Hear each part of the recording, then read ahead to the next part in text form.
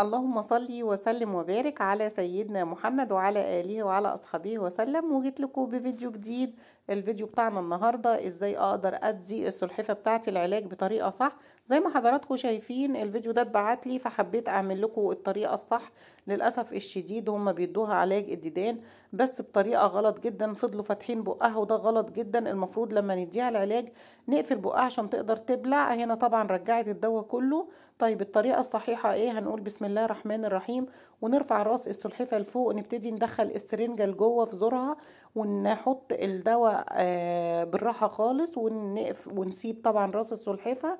نطبطب على الصدفه بتاعتها عشان تحس بالامان وما تكونش خايفه مننا وبس كده وطبعا واحنا بنشد راسها نشدها بالراحه جدا هي دي الطريقه الصح يا رب تعملوا كده آه، وان شاء الله اذا عشتوا كان لي عمر انتظروني في فيديو جديد باي باي